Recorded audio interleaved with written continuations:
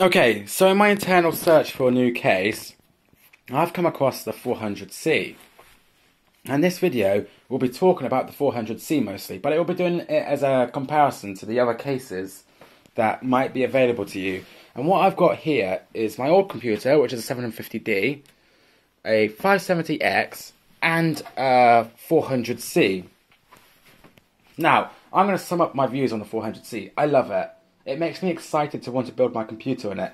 It's just the perfect size and I just all around love it in so many different ways. I just want to use it. But I am currently leaning towards the 570. You will understand why as you use more of this video. But let's get stuck in, shall we?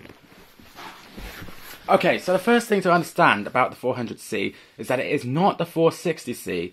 Not only that, but it is not the old 400C.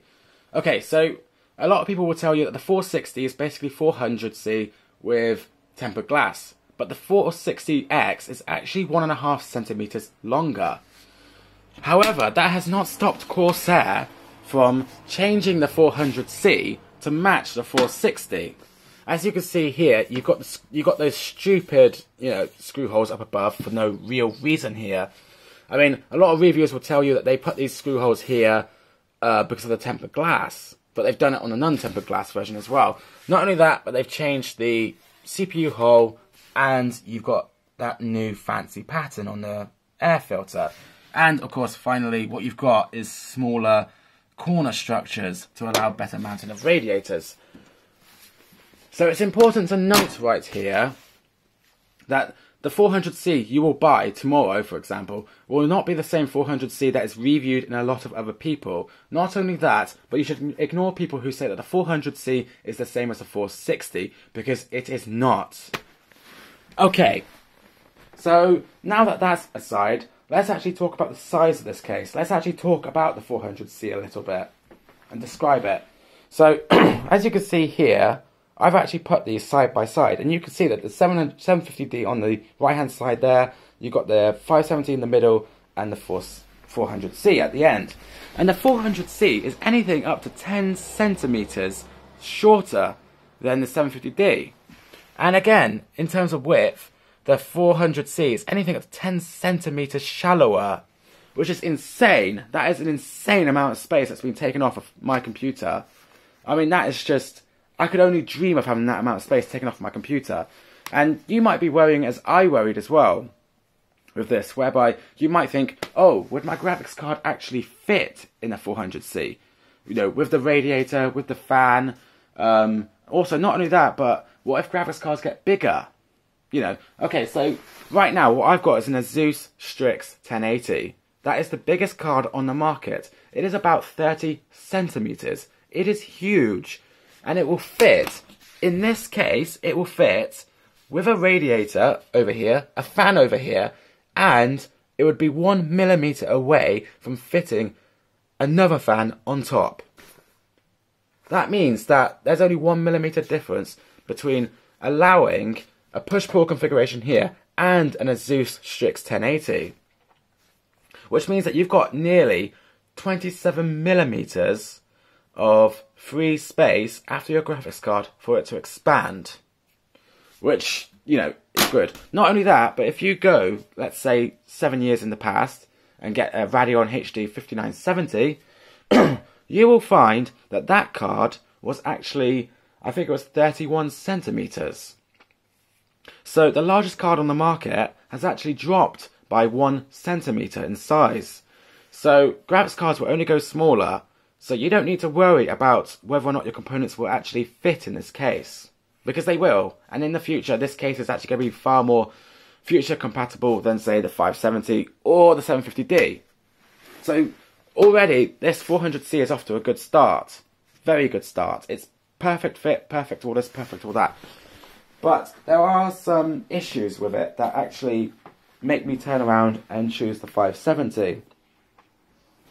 Some of it is just sort of like where Corsair decided to cut a corner. Some of it is sort of just random little things, basically. One thing that gets me is this front panel. This front panel clips on, and the clips are really stiff. And not only that, but I've been reading on the internet that the clips are prone to breaking. A lot of people complain that their 400C clips break. Um, more than one person, I'd say, you know, I, I experienced at least like 10, 20 people who said that their 400C clips break. And this is why. I'll show you now. Ugh. There you go. You see how nasty that was to get it off? How violent that was. In fact, actually, this is another point about that front panel. Don't ever take it off when your computer is on, because if you do, you have a chance of damaging your fans. But anyway, getting back to this, you can actually see it's held on by clips. But the problem is, is that those clips are actually a bit sort of bent already from just using the case. And what people complain is that the clips bend enough that they break eventually. And that's the first point with it, you know, with the 400C. That's that's probably one of the biggest points that actually makes me not want to use this case. If they had a better front panel, I would jump on this case and I would hump it, basically. Um, a minor point is sort of quality. So underneath here, underneath the acrylic um, side panel, you'll find that it's actually bent. So the top of the panel is perfectly fine, perfectly straight, perfectly everything. But the bottom of the panel is actually bent and actually contorted a little bit for some odd reason. And then, of course, the third problem is the fact that for some odd reason they've decided to bring those covered screw holes from the 460. I have no idea why they did that. But there is also a fourth problem. Now, if you've got a smaller PSU, this does not concern you and you can ignore me as much as you like. But I've got an RM1000, a slightly older PSU. And its fan, even though it would actually fit kind of into here, it would not totally. And it might actually cause heat buildup in my PSU, which could actually cause it to overload. Now, the other little minor thing is that this air filter is really cheap. I have no idea why they didn't do the same air filter as they did on these other cases here. Why they just kind of, yeah, you know, this is a hundred pound case. It's not, it's not really cheap. It's not like sixty quid. It is a hundred quid. So I don't understand why they just sort of, basically. But yeah, so that's that's sort of like my gripes with the 400C and why I won't use it, and why I'm actually leaning towards this 570. The 570 is a lot nicer on that one. For example, you can take off the front panel and you don't have to worry about, say, breaking clips and stuff. You have to worry about breaking glass, but you don't have to worry about breaking clips. Not only that, but of course, with the 570, you've got a better idea of when you need to clean a computer. Now, you could turn around and say that actually, you could get the 640. You know, that's that's got tempered glass front panel, and you can see it by all means, that might be a better option. But I'm reviewing the 400C here. And in terms of, you know, cleaning, the 570 is actually easier to clean than the 400. So that's my that's my review of the 400C. Essentially, it's a really amazing case, but there's maybe one or two points that just I just can't live with, basically.